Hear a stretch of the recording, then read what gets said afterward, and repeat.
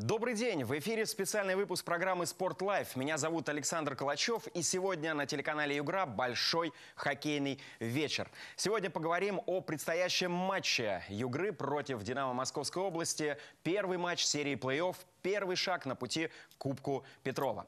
А, сегодня с экспертами в студии мы обсудим и сегодняшнюю игру, и вообще в целом поговорим о том, э, как должна пройти эта серия. Самое время представить наших экспертов. Прошу любить и жаловать, знакомьтесь.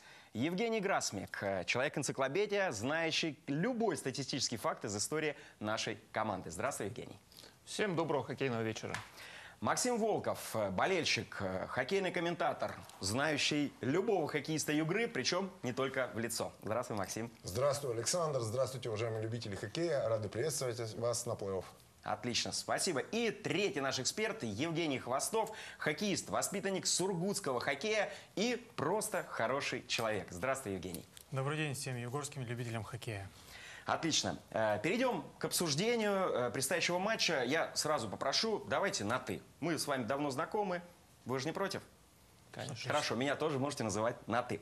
Итак, мы сегодня неоднократно коснемся э, традиций и примет, которые так или иначе связаны с хоккеем. Ну а начать предлагаю с традиции, которая известна всем.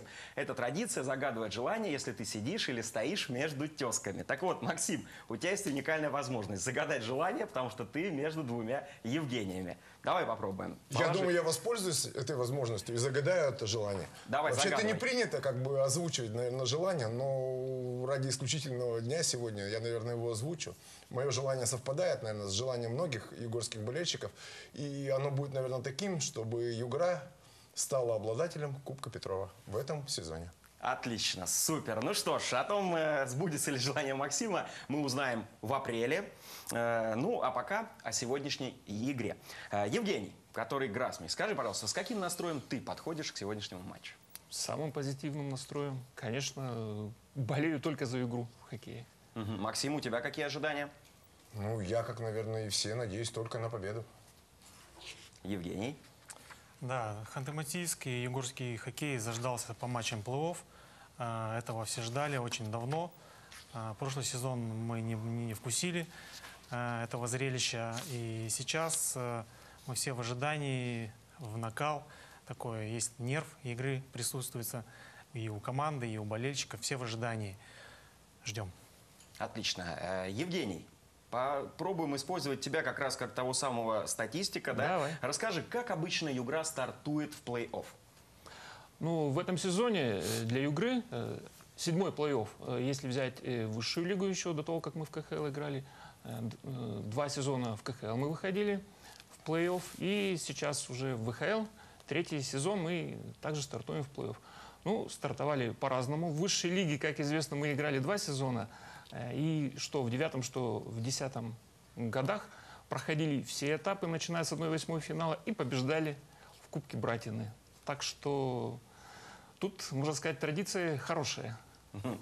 Ну хорошо, такая статистика вселяет уверенности в сегодняшнем матче, да, э, в сегодняшний успех югорчан. Э, Тем не менее, вопрос ко второму Евгению. Э, Жень, скажи, пожалуйста, как команда готовилась к стадии плей-офф?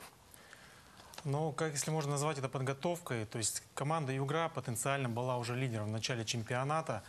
И команды лидеры, которые ставят перед собой самые высокие цели, для них регулярный чемпионат это и есть подготовка к плей-офф. Здесь э, тренерский штаб э, пытается реализовать, привить э, ту игру, которую они будут показывать плей-офф, которая как строит, и как построение команды, так и э, рисунок игры, ключевые моменты определения лидеров. И команда, если говорить именно про подготовку, то был небольшой период, последние э, месяц небольшим команда находится дома, длительная домашняя серия, и были перерывы в этих э, между матчами. Тут ре- ребята и физически здорово подготовились. А, Слава богу, нет травмированных у нас. То есть мы в в полной обойме подходим к играм плей-офф. Э, Максим, скажи, пожалуйста, а болельщик как-то по-особенному тоже готовятся к э, стадии плей-офф? Какие-то, может быть, перформансы или еще что-то Ну, задумывали? естественно.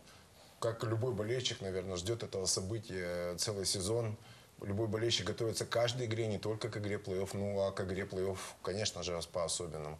Готовим, готовится отдельный перформанс, э, отдельная поддержка клуба. Ну, на выезд в Красногорск, к сожалению, тяжело будет в этом году попасть, так как, как э, «Динамо» из Московской области весь сезон играет без зрителей. Э, Поэтому будем поддерживать, стараться поддерживать команду дома. Ну, коль зашла речь о выездах, э, Жень, я знаю, ты очень много матчей посетил Югры, да, выездных. Ну, есть, да, нем- немного, скажем так. Для себя делаешь какие-то наметки? Вот ты планируешь посетить э, выездные матчи именно плей-офф, поболеть за Югру на выезде? А, Конечно, если будет возможность по работе, то в первую очередь поеду на плей-офф. В этом году удалось, в, в этом сезоне удалось в декабре побывать на трех выездных матчах. Ну, выезд это всегда особый праздник, скажем так, для хоккейного болельщика, для настоящего хоккейного болельщика. Если у кого есть возможность, желание, кто еще не испытал такого действительно счастья и адреналина, ну, присоединяйтесь на плей-офф за Югру, поболеть. Отлично. Жень, скажи, пожалуйста, вот как хоккеист, э, как ты оцениваешь, когда вот на выезде команда видит, что приехали ребята поддержать, пусть там два человека, насколько это важно для хоккеистов? Конечно, важно. Мы всегда, э, любой вид спорта, если взять наш хоккей, мы играем, играем для зрителей. Нам всегда приятно, мы понимаем, через какие трудности и тягости проходят наши фанаты, болельщики, а, находят э, возможность э, поддержать нас на выезде. Это всегда очень приятно, всегда команда, независимо от того, как закончится матч, всегда благодарит наших выездных э, фанатов. То есть это всегда дополнительная поддержка. Мы, мы чувствуем, что за нас переживают, нас поддерживают, и мы пытаемся тем же самым поддержать тех, кто приехал. Хорошо. Э, Понятно, что Югра в этом матче фаворит. Да, мы первое место, наш противник 16 место. Тем не менее, скажите, какие опасения э, вот, есть по предстоящим матчам? Но первый раунд плей-офф, он всегда очень непростой, потому что цена ошибки велика. А, Как по конкретной встрече, допустим, первый матч, он всегда будет, первый период будет очень нервозный, это будет заметно. А Если говорить про команду соперника, то это молодая команда, представлена а, воспитанники Динамовской школы хоккея, которые прошли молодежную хоккейную команду. Сейчас они на новой ступени, высшая лига, и они все стремятся достигать больших результатов. То есть они все стремятся попадать в основную команду «Динамо Москва». Это молодые ребята, которые э, энергичные, амбициозные. А, Они могут удивить. Они могут удивить как э, соперника, так и самих себя. А, Нужно быть готовыми, нужно всегда держать, э, так говоря, ухо востро, то есть ни один момент не упускать, ни один- игровой эпизод. То есть это плей-офф. Э, Максим, у тебя есть какие-то опасения перед э, вот, предстоящим матчем, перед предстоящей серией? Да, естественно. Дело в том, что хоккеисты «Динамо» только в предпоследнем туре э, Кубка «Шелкового пути» обеспечили себе выход в плей-офф. Команда, по сути, в режиме плей-офф играет четыре последние встречи. И обеспечила себе выход в плей-офф только в матче, в гостевой встрече против команды «Сканева», одержав там победу со счетом 4-1. То есть в этом режиме команда существует уже давно. Э, Хотелось бы вступить э, в небольшую полемику с Евгением. «Динамо» из Московской области – это команда не только как бы молодежная, но это отличный сплав, прежде всего, опыта и молодости. Опыта и молодости под соусом, так сказать, «Динамо». В команде имеются как э, очень опытные э, квалифицированные игроки. Это небезызвестный Денис Коколев, э, двукратный, э, двукратный обладатель уже Кубка Гагарина в составе московского «Динамо», финалист Кубка Гагарина в составе ХК МВД, чемпион мира 2012 года, капитан этого клуба. Небезызвестный э, многим э, болельщикам Югры э, хоккеист э, Раисов, который дважды к нам приходил в составе, э, в состав еще Югры, которая выступала в континентальной хоккейной лиге. Ну, к сожалению, Аслану не удалось себя проявить э, в составе Югры и во второй раз, когда он в высшей хоккейной лиге провел, по-моему, 7 игр и забросил одну шайбу. Но сейчас Аслан является одним из самых результативных игроков, точнее, самым результативным игроком «Динамо» по системе гол плюс пас, лучшим бомбардиром. Вот. Можно обратить также внимание на других э, игроков «Динамо». Это Марк Верба, который является лучшим снайпером э, коллектива из Московской области. Ну и, конечно же, известную динамовскую молодежь. Эта динамовская молодежь предсезонную подготовку подходи- проходила в составе клуба «Динамо Москва» под руководством известного тренера Владимира Крикунова. Естественно, эти люди прекрасно готовы, прекрасно хотят себя заявить. А По сезону получилось так, что ряд игроков команды «Динамо» из Московской области даже были призваны в сборную России на матч э, Карьяла Кап, на матч Евротура. Это вратарь Вадим Жиренко и нападающий Дмитрий Злодеев. Также в составе «Динамо» есть очень четыре, четыре опытных хоккеиста, которые в составе э, клуба «Динамо» Балашиха уже становились э, обладателями Кубка Петрова. Вот. И именно эти четыре хоккеиста, которые составляют основу первого звена команды «Динамо» из Московской области, возможно, могут доставить э, и нашим защитникам, и нашему голкиперу очень много проблем. Вот за это я опасаюсь. Понятно, хорошо. Евгений, а у тебя какие опасения вот с точки зрения, может, статистики, да, магии цифр? Да-да-да, я вот сейчас э, скажу, что Максим дополнил Евгения, я дополню Максима. Аслан Раисов играл против Югры в плей-офф Кубки Братины еще весной 2010 года за нефтяник Метьевск. Мы тогда их выиграли. Так что, думаю, традицию здесь нарушать не будем.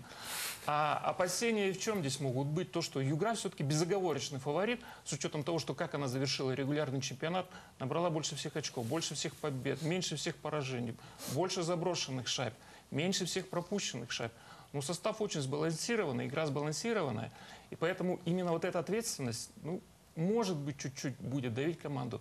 А у «Динамо» из Красногорска, ну, по сути, они раскрепощены на этом этапе плей Они и так уже свою задачу, в принципе, выполнили и будут играть э, более свободно, То есть в психологическом Психологическое, таком, да, может быть, да, но я все-таки считаю, что класс должен победить команды Югра. Ну, тем более в очных встречах э, на протяжении этого сезона и прошлого сезона команды провели три встречи, и во всех трех встречах победу одерживали хоккеисты Югры. Э, Поэтому, в смысле, как бы фаворит здесь понятен и очевиден. Ну, здесь я могу добавить, что вот эта статистика по поводу встреч личных, мы в этом году не в Красногорске играли, в том году в Твери играли, играли в Балашихе. Э, Год они вообще пропускали. Ну, здесь такая статистика для этой команды, именно «Динамо» Московская область, они каждый год состав там очень сильно меняют и не привязаны ни к какому городу. И здесь я не думаю, что вот их игроки смотрят на эту статистику, да, и наши, наверное, тоже.